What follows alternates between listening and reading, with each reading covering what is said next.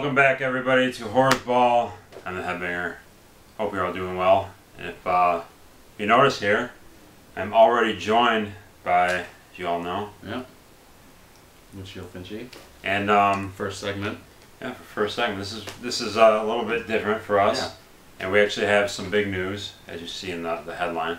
Um, this is September, and that is you guys watched last season. September is sweeps month, as like TV shows and channels like to call it, where you gotta you know pull out all the stops for your channel to try to get it picked up for the following season. Last year I did like the had the Italian horror movie special, Mhm. all that.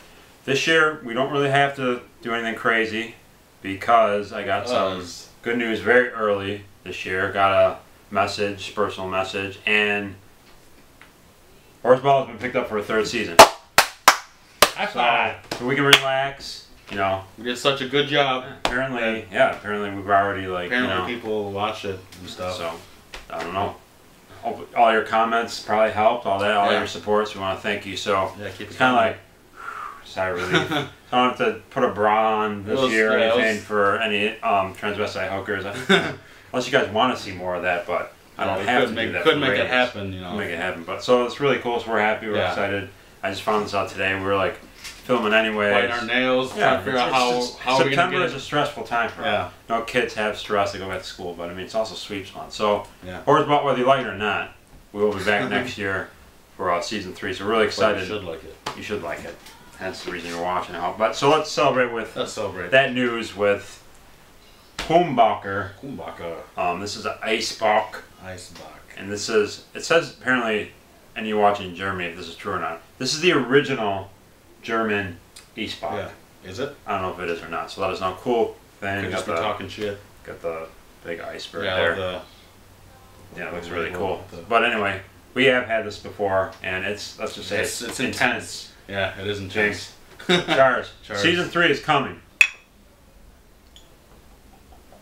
It is an intense beer, but I mean Wow. in a good way. Like, you know, it's good. A lot of flavors going Yeah, on. I mean, There's a lot going on Each, each taste is you taste something different in there. It's it's like an art house beer. Yeah. I think you know what I mean. It's a little Mhm. you know a little different. So if you're looking for something different. different, with a lot of different. flavors, definitely get this. But there's something else. Yeah.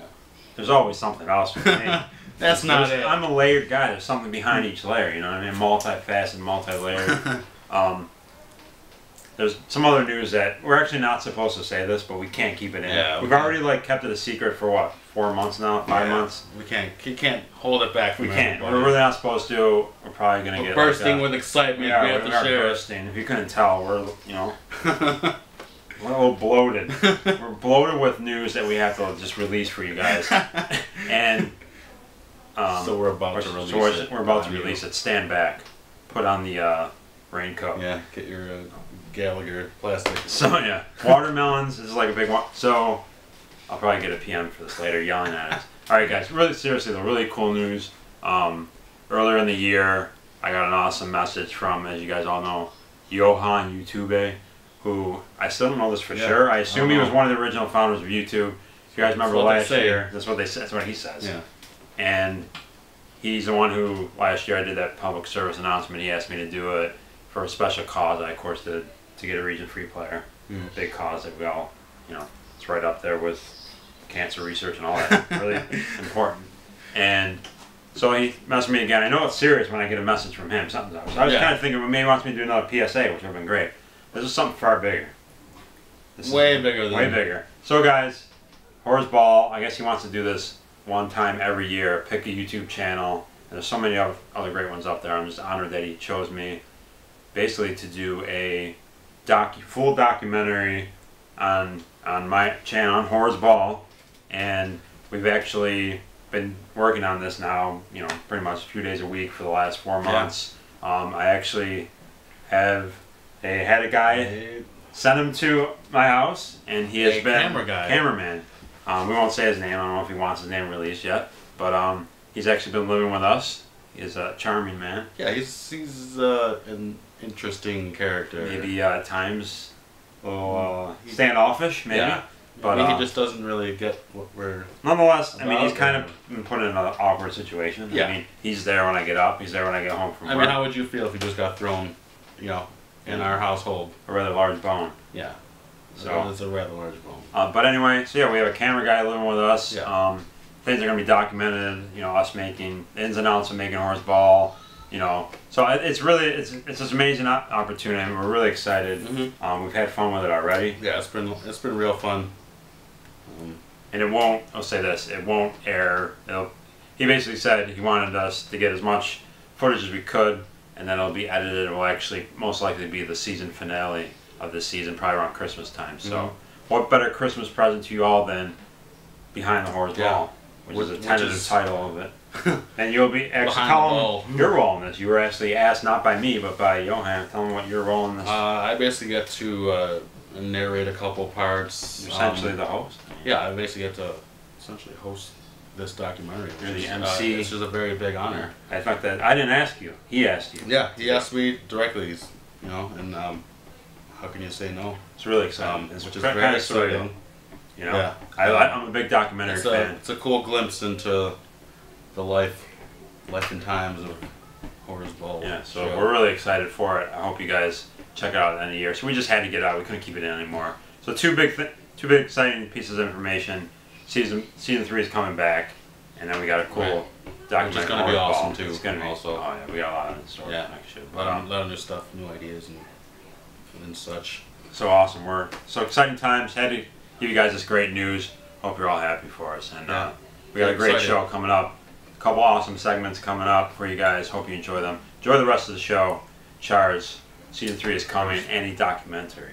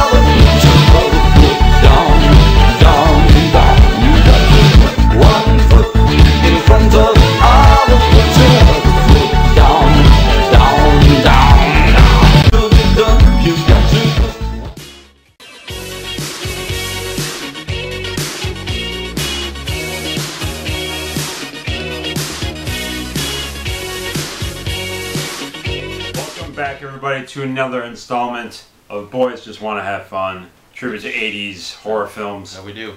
Welcome back. So we got a we got a doozy for you guys tonight, right? Um, well, let's do our beer first. Yeah, let's do that first. We got. I've kind of been talking to close friends about this beer a lot lately. It's probably my new favorite uh, brewery. You've had them along with me. You like them I've a tried, lot. a, I've tried a Yeah, a couple. couple I haven't had all of them yet, but what I think it is amazing.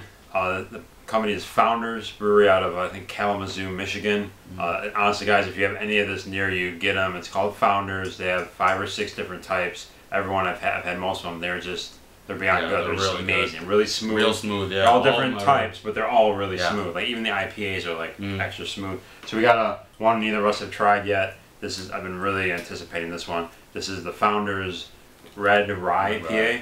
Really cool. Yeah, cool covers. The quality of this, cool. Yeah. I really see this brewery getting big. I really Yeah. do. So if you have any, I know this is.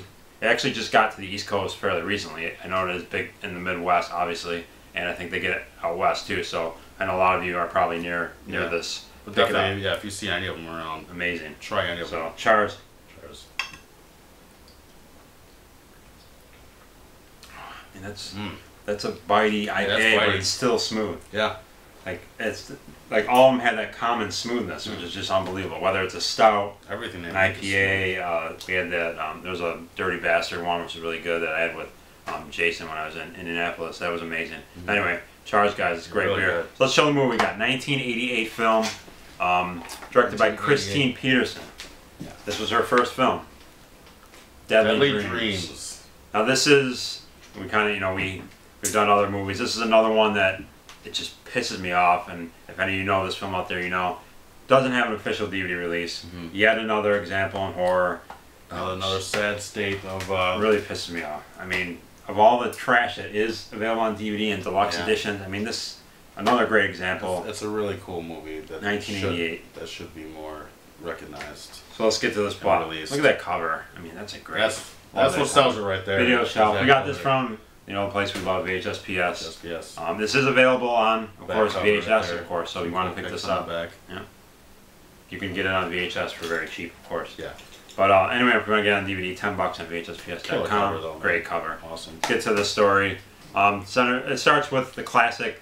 They used to do that all the time. They try to do this now in current movies. The classic flashback Starts scene of, of a a child having a traumatic event, usually his parents being killed or something. Mhm. And this is that. Which is the case. This is the case with this movie. Young Alex on Christmas Eve. Um, his parents, he's, he actually opens this gift, and it's this kind of a girly gift. It's like, It's like crystal. It's a uh, crystal, like glass blown deer, yeah. which you It's know. very. Uh, Yeah, it's a little, but he loves it. He's like, oh, thank you. And uh, so his dad at this time, after he gets this great gift, his dad's on the phone. His father is uh, he's a businessman. They have a big business, his family, and he's He's, he's, off in- the other room. He's off in the other room having some argument with one, eh, basically some guy named Perkins. That's all I say. He's like, calm down, Perkins, and blah blah. And and then there's a knock on the door, and the young Alex answers it, and a guy walks in with a rifle, shotgun, and he blows Alex's parents away. And then Alex Right. begins to run away. And the cool thing is the killer has this this mask on, cool wolf, awesome wolf mask. Aw- awesome mask. Yeah. So right up there with the underrated It's mask really of like cool. The old woman mask from uh, Curtains. Like it's just really iconic, Right, but no, yeah. not everyone knows about it. Or like stage fright. the Stage owl fright, the owl, yeah. So he, the kid runs away. Um, that the you know whoever that is is chasing him, the wolf mask guy after he just killed his parents, and then suddenly next shot is Alex wakes up from a dream. He's now, you know, it's ten years later. He's like 21 years old. He was 10 years old at the time that this murder happened. So he wakes up. He's he's a college student. And uh, we get to know he has this best buddy Danny, Mhm. who's I, I really like him. He's really Yeah, he seemed like a really cool fun, character, quirky yeah. character, kind of like an Italian guy. Yeah. You know, like he's Jokester, a prankster, yeah. jokester. He's also a pill popper, which is what we learn, which is not a joking matter at all. And he's a pothead too, I think. Yeah, he? he's, he likes pot, he likes the pill, But- pill popping, whatever. Um, so we get to learn Danny and they're in college together, and Alex keeps having this this recurring dream of what happened that night when his parents were murdered. Like these dreams just been going on. They they're getting progressively worse. He keeps having them. His buddy Danny's trying to calm him down. Like he basically says, "You're you can't sleep. You're having these problems because you haven't gotten laid in a while." so he wants to set him up with his chick. right. So the scene where they're at a bar, and um, he uh, chick he basically sets him up with this this chick. Don't they say that like she's like a prostitute or something? Oh, don't know Or if they say he, he like implied, implied that he paid for it or something, whatever. Yeah. So he gives this tagline is, uh, if you remember this, this is Danny's line that he uses on chicks. He says, uh, "You know what? You know what would be good in you? My dick." That that was Danny's, I guess, pickup line. So Alex actually goes and tries this. Oh They've my had a few Miller That's High Lives. ridiculous. They've had a few shots, a few Miller High Lives before he did this. He goes up to this chick, gives her that line. She, of course, douses him with some an alcoholic beverage. Doesn't go well. Um, Alex is upset. He goes back home, falls asleep, has another bad dream. He's just in a bad mood. Yeah. Ends up seeing this chick whose name is Maggie. Finds her later on cam- campus. He's persistent. He likes her. He apologizes for what he did. And basically, they begin eventually with his persistence. They begin to go Yeah, out. she was. She didn't want to have anything to do with him for a mm-hmm. while, and but he, yeah, he kept going after pretty her. much begs her. Yeah, that's, yeah, kind of pretty creepy. creepy. They go out. They actually have, of course, in any movie, the first date always goes really well. He knocks it out of the park. You know, they just they go to the movies, right? And just, just- she just ends up liking him. So they begin to date.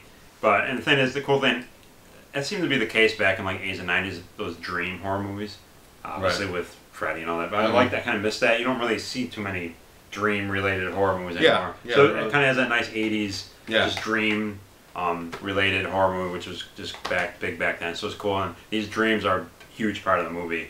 He just constantly, in different ways, he has these dreams of the killer with the mask coming, and it's kind of cool. Sometimes they do it well enough that you don't know whether he's dreaming or not. They Right. keep like deking you out, you know. Yeah, that's. I guess that's the one thing with this, uh, with this film is like as it's going along, the lines get blurred They do, as to what's reality. Early on, you can dreaming. tell what's a dream. Yeah. But as it gets, yeah, as it gets, Yeah, as it goes on, along, it gets as a little blurred. more and more blurred. Right, which is cool. That's what Yeah. adds to it.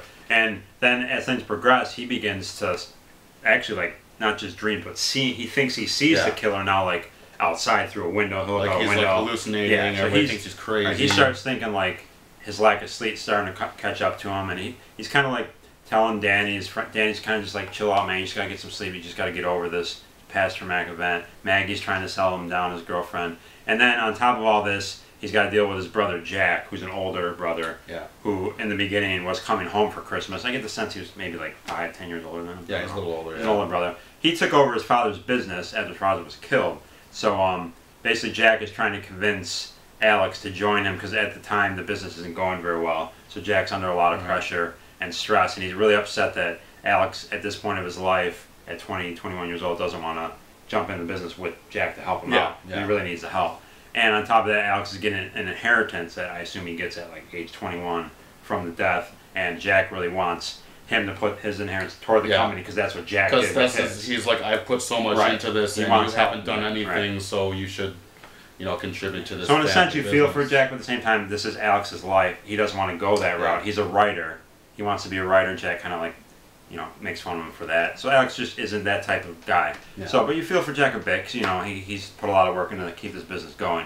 So he's dealing with that. So Alex is really dealing, dealing with a lot of stress. There's a great scene where he's taking Maggie out, and they're in the truck, and he's just like, just snaps. He's like, shit, and he's just like, he's so, he's so like frustrated and just, you know, things are just going wrong. He just, you know, can't deal with it anymore. So, um, but you know, Danny's trying to help him out. But then the thing about Danny is he is he is a pill popper, so his his behavior's a little erratic. But deep down, he's a good guy. But one time, I think he goes too far with his joke. He's a Right. prankster, and Yeah, he's, they're hanging out in his room and yeah, uh, Alex and, and yeah. he has his They're getting he's a, stoned. by the way, Danny is a hunter. They're kind of live in a rural hunt, hunting community by this college. So there's a lot, that's what's cool. There's a lot of hunting imagery at all Right. times. Like hunters are walking around with their guns, like it's hunting season. So there's a lot of deer imagery and the wolf man. So that's kind of cool. And Danny's like, they're in his room and he's got like he's got um, Alex in his scope, and Alex is like, stop fucking around. It's not funny because obviously he's sensitive to guns Yeah. and stuff. And Danny's like, you know, dude, just chill out, man. yeah, it's you know, not loaded. it's not loaded, man. And then of course the gun is loaded. Of course. And he ends up like shooting something off the wall, and of course Alex just like fucking nut job. He's just- you know. yeah. So of course that didn't go. So he doesn't really want to talk to Danny anymore, and he's just frustrated with him.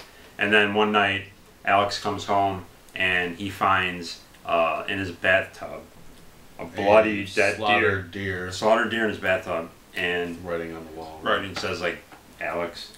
He said die out or Alex. Yeah. I'll get you, something like that.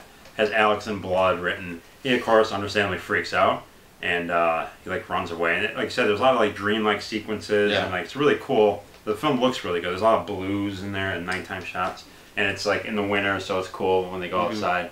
So it's a cool atmosphere. And, and um, really, to say the first, I'd say the first half of this film is a little more on the cheeser side. The dialogue's over the top. Right. Um, I like I like the character, Alex character. yeah, he's Like, he's, an cool- over actor, but it it he's an over actor, but it still works. Like, I yeah, it works call well for yeah, the, for what for the movie. if you could call it good overacting, I'd call it that. but and then as as as he says, these lines get blurred. I think the film really gains some steam. It starts to become way more serious. Right. And um, I think the cutoff point is that though where it ends the cheesiness is if you remember, there's a scene where he kind of says he sees like a lock on the door broke, and he goes or no, he actually It's not after the deer scene. yeah, he when sees. calls the police. Yeah, but he sees the killer, and he thinks the killer's in his apartment with the mask, and then the ma- the killer takes the mask off, and it's him. It's him, yeah. It's his face. He goes. It does the triple take. No, no, no. It does like the classic like three in a row, you know, and like that had me laughing hysterically. Yeah. And it seemed like right after that point, they were like, all right, now the rest of the film is going to be completely serious, and it really is. In the second half, you begin to realize, Mhm. you know, what's real, what's not. And he goes, as you said, he goes to the police about the deer. the cop comes to his apartment, and of course the deer is gone. It's completely clean, like lock's not broken. Um, Yeah, and You he know, tries to tell the cop that he thinks Perkins is back, even though and the cop says, "You're crazy. Yeah. Perkins committed suicide at the scene of the murder." It's kind of it's kind of like everybody knows the whole Right. situation, and And the that's- town knows what they all know he's like Perkins that. isn't so they're alive just trying anymore, to, right. You know, like you're like just calm down. You know, Right. you're just letting it get out of hand. Alright, So we'll take a quick break. We'll be right back.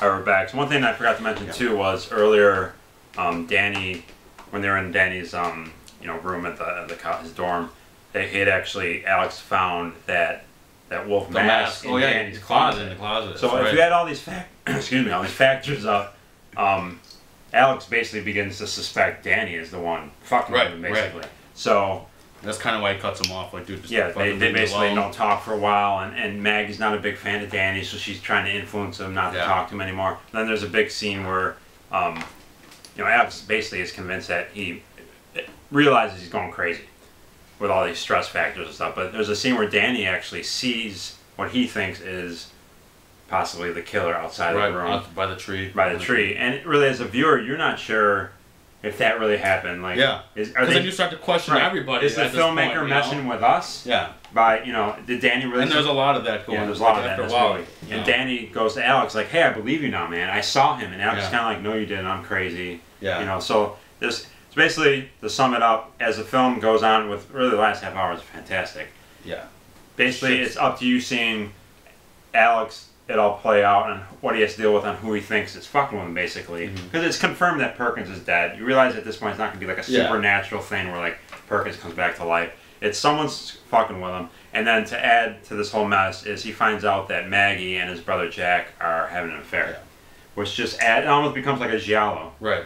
who's the kill Yeah. you know who's messing with him basically is it Danny who's on drugs and you know he, he maybe has he a has a mask. Seems like a good guy, right? There's some, a lot of red uh, herrings to maybe it's But he's him. been a he's been a friend for a long time, so maybe he. I think he's knows likable more too. He's a into likable character. Yeah, you don't yeah. you don't want it to be Danny Yeah. as a viewer, I think. And then is it Jack and Maggie? Are they up to no good? So Right. you know, it's up to you. So it's really cool. Things start to play out. Let's just say this because we could definitely a lot of spoilers we could do for this. Yeah, we don't want to do that. We don't want to give away. No. Because Let's just say there are two major in the last half hour of this film. There's two major plot twists. major, major. twists. One, you could maybe see. It's not. I won't call it surprising, even though when you got to that point, you didn't really know what was going on. And then the, the finale is fantastic. Yeah, that's that's totally The what second just, twist. That's totally what just threw a curveball. and at it me when it, I was it threw it. us, man. Yeah. And we've seen obviously thousands of horror movies. I mean, I didn't see it Because you see, the, you see the first twist, and you're like, all right, well, you know, I guess think that makes that's it. sense then. And Right. it's just and like, I was fine with bam, it. there's another one. You know, like, I was oh, fine shit. if it would have ended with the first twist. I would have Right. been fine with that, you know. Yeah. But then you're yeah another curveball. So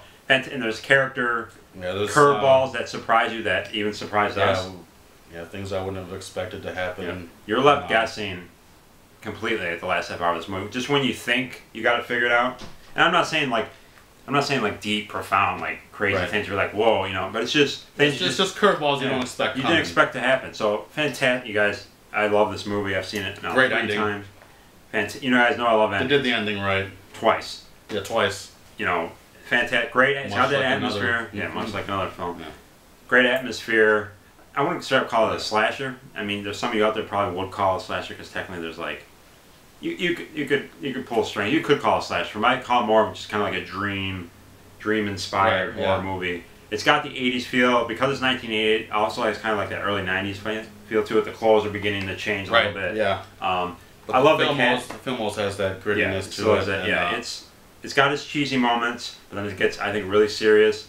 I think it's a great cast. I think Alex and Danny to me are really likable yeah, characters. yeah, very much so. Alex is just a good guy. You really, you really care for the Mhm. for the main characters and such. And, right. uh, His Jack, the older brother's kind of a, a cocky dude. yeah, he's yeah, he kind of He's not douche in a likable, but you can also see his plight. You know that he's frustrated Yeah. and, and stressed out. So really good characters. Again, Alex is the actor who plays him. and He's very over the top, but it just fits because he's kind of Right. know low on sleep and he's had a traumatic event. So it just works. He's always kind of on edge. Mhm. And uh, Maggie, she's a cutie, um, and just really well done. A gem of a film, I think. And it's a damn. Sh- I hope somebody out there yeah, they, I I mean, were- finally releases this. I mean, highly recommended. Go get the VHS if you don't want to, but I mean, you can get them both. You get the VHS and VHS, PS. DVD for twenty bucks if you hold Yeah. it together. And Highly recommend 1988 Deadly Dreams. Absolutely love the ending. Just to have that artwork on your shelf also. Yeah, exactly. Is, I is really cool. That's fantastic. Highly recommend, But- guys. Go out yeah, there and this buy film's it. just great. Totally, just definitely check it out.